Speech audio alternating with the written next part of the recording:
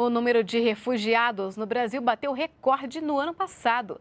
A maioria sírios e angolanos. Veja na reportagem de Leonardo Meira. Em árabe, fica difícil descobrir o que esses dois amigos tanto conversam.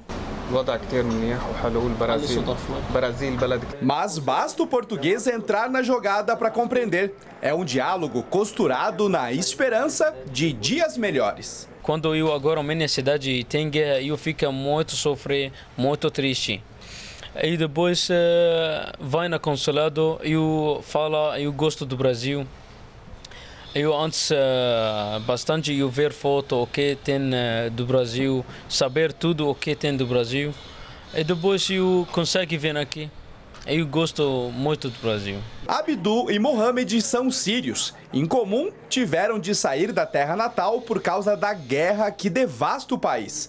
Mohamed chegou a São Paulo faz duas semanas, enquanto Abdu já está há oito meses no Brasil o número de refugiados acolhidos no Brasil em 2014 bateu recorde, 2.320, a maioria sírios e angolanos. O número é três vezes maior que 2013 e 11 vezes maior que 2012.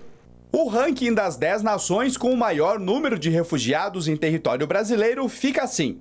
Em primeiro lugar, Síria, depois Angola, Colômbia, República Democrática do Congo, Líbano, Libéria, Iraque, Palestina, Bolívia e Serra Leoa.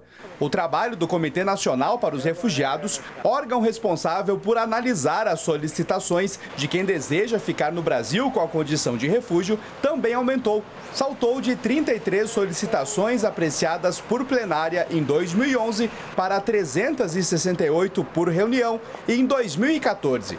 E são vários motivos que trazem os estrangeiros para o país. Hoje, conjunturalmente, o conflito instalado na região da Síria acaba sendo é, responsável por visibilizar o drama desses, desses refugiados e que acabam também sendo a população mais numerosa entre os solicitantes. Mas também temos de regiões da África e de outros locais da própria América Latina. A Caritas é uma das organizações da sociedade civil que auxilia quem chega ao país em busca de refúgio. Na capital paulista, o aumento no fluxo é percebido desde 2011. Eles sabem que o Brasil é um país que acolhe bem as pessoas, que está economicamente em ascensão.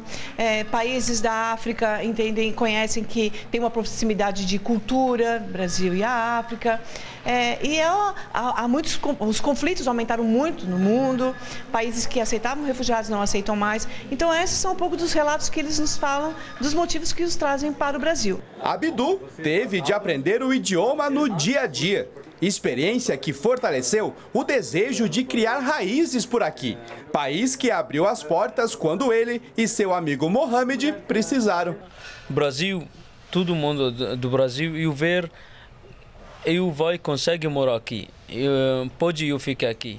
E depois pensar, depois vai casado, vai ter, faz família aqui. Porque eu gosto, eu, quando não, não, não gosto, eu vou embora, mas eu gosto do Brasil. Ver muitas coisas boas.